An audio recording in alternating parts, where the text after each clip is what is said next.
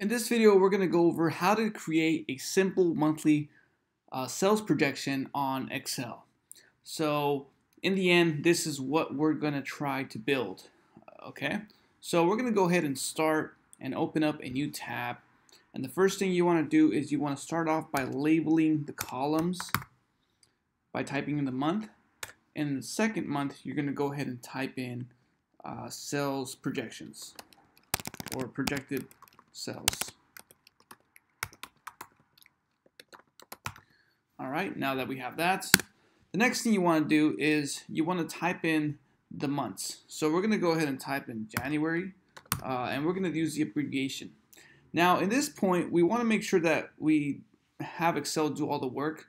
So we're going to go ahead and click this black cross on the bottom right hand side of the cell. And if I click and drag down, I should be able to have Excel input all the months for the rest of the year. Okay? The next thing I want to do is type in the number amount of sales for the month of January. So let's say we sold $50,000. And our projected sales for the month of February will be 50,000 times the number amount that you expect sales to grow. So let's say, for example, we're going to go ahead and click equals. Let's say we want to project 50,000 times 3% uh, increase. So we're going to go ahead and multiply that by 103.5% increase, and we get a total amount of 51,750. All right, now simply what I can do is select the cell, click the bottom right black cross, and, and Excel is going to basically calculate a 3% and 3.5% uh, increase month after month, as you see there.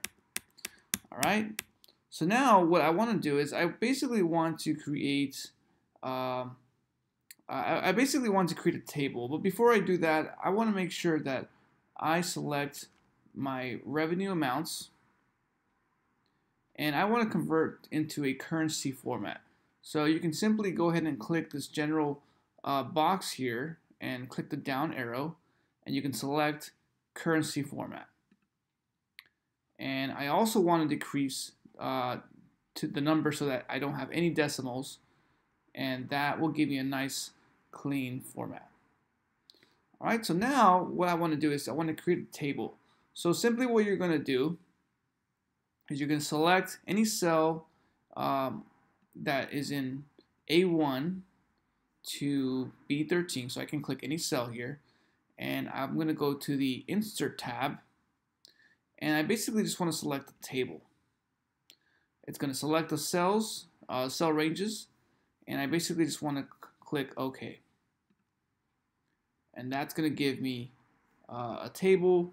And if you wanted to change the style, you can use this conceptual tab here and you can pretty much select a different color and Excel gives you a, a good amount of options that you can select from. So we're going to go ahead and click this one here.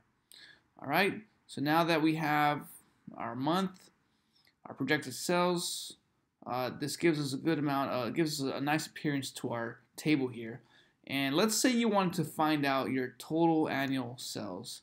Um, simply what you can do here is you can pretty much right click any cell in the table and if you scroll down to table uh, you can select total rows it's going to go ahead and give you the total amount of cells for the entire year.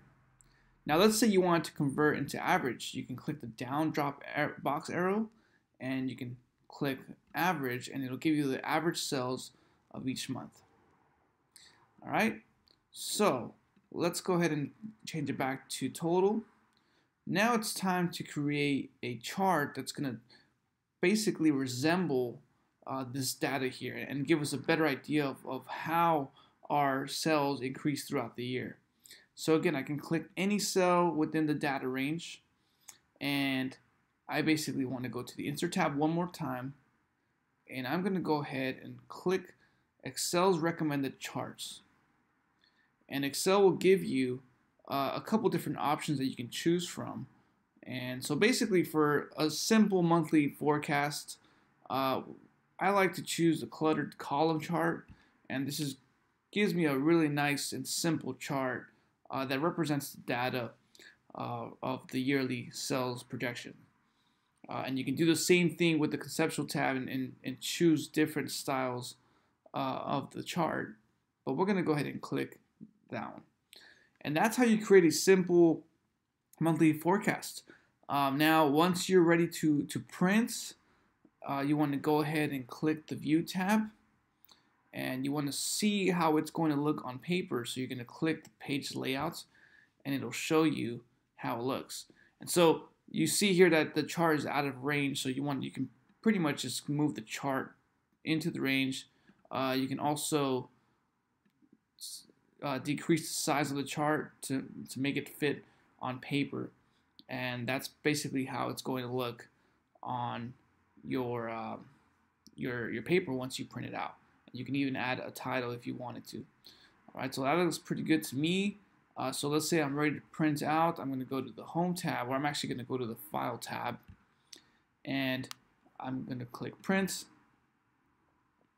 And I should get sort of a visual of my chart and my data and then I'm simply going to go ahead and click print. All right. Now, once you print, let's say you want to save your monthly forecast, simply go to the File tab again, uh, Save As, and then you'll save as monthly sales projection for 2019, and then save. Alright, thanks for watching. If you like this video, go ahead and please, I would appreciate a like. And if you have any questions or comments on videos you would like to see on Excel tutorials, feel free to leave me a comment down below and subscribe to my YouTube channel. Thanks for watching.